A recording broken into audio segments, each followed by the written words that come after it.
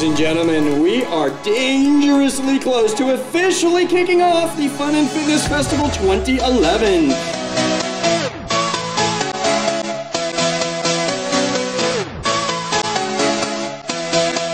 There's so many different clubs, and I'm a freshman, so this is really, really cool. And um, I don't know, it's really fun, and there's so much stuff going on. Welcome to the 18th Annual Fun and Fitness Festival. Yeah.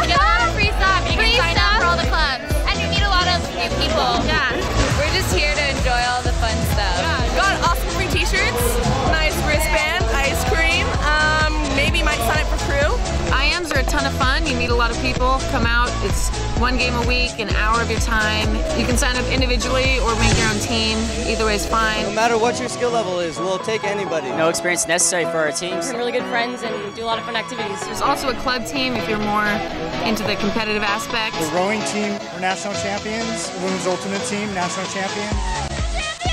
Women's club soccer, four-time national champion. It was the best decision I've made.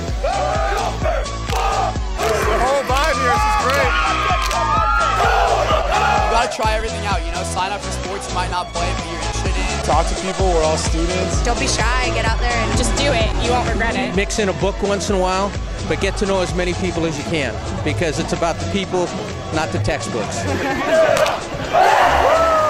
yeah, find a passion and, and do something with it. So This is a great festival. It's fun. There's fitness. There's awesome people, awesome booths. Just a great time. All these new students are mingling for the first time since the summer. They're ready to get their social on, and I think it's great. And yeah, it's been awesome. Just a fun time and a good day. It's fun. Having a great time. We had a great day today. Oh, it's been good. this is where gauchos play. That's what I got to say. Right?